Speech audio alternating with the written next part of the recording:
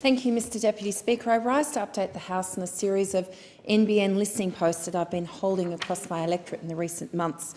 We've got an outstanding story to tell about the rollout of superfast broadband in my electorate of Robertson, because we have more than 67,000 premises either ready for service, under construction or in the rollout plan up to December next year.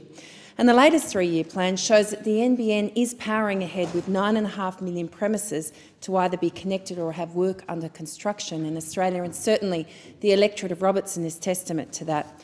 We've shaved years off construction time while still delivering superfast broadband of at least 50 megabits per second to 90 per cent of the fixed line footprint.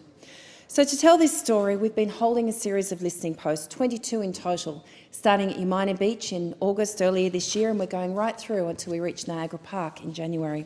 More recently, we've been at Spencer, Kincumber, Terrigal, Bensville and Mangrove Mountain. And it's been fantastic to spend time in particular with our Mangrove, Mountain and Districts communities west of the M1 in recent weeks and hear from local residents about what really matters to them.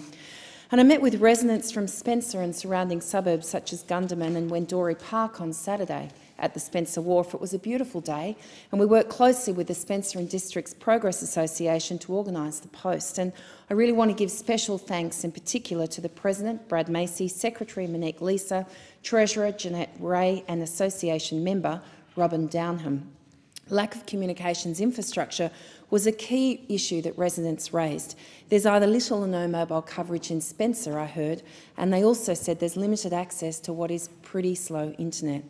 I heard stories like Antonio's, a Gunderman resident who recently moved from Sydney, having lived in Lane Cove for the last 10 years. And while his family loves the country change and while he gets to work in the Sydney CBD, his job is quite flexible and it does allow him the freedom to work from home wherever he needs to.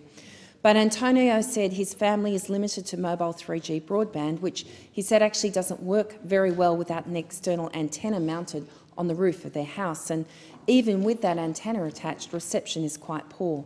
And there's also a lack of emergency support, and this was highlighted by the storms that hit our region in April when the town of Spencer was isolated with no power, sewage or running water.